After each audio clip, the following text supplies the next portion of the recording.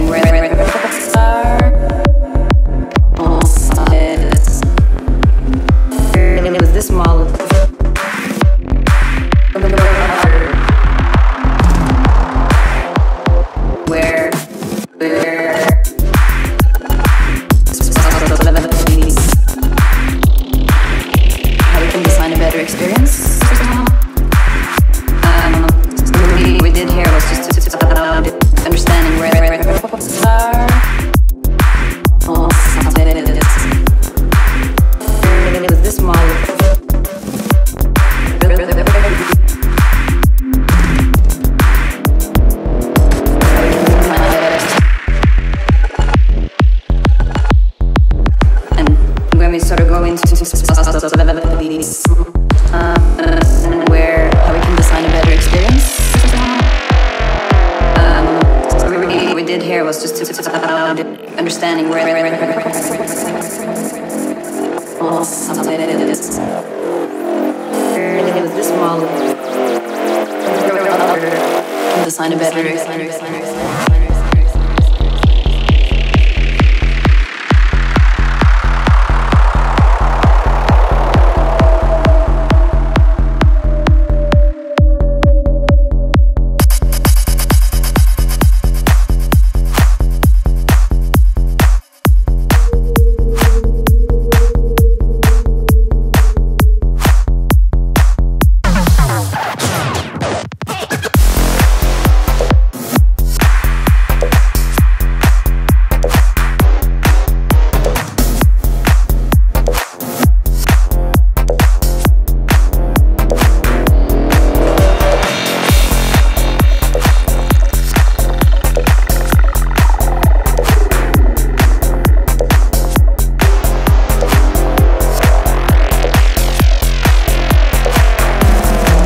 experience. experience. experience.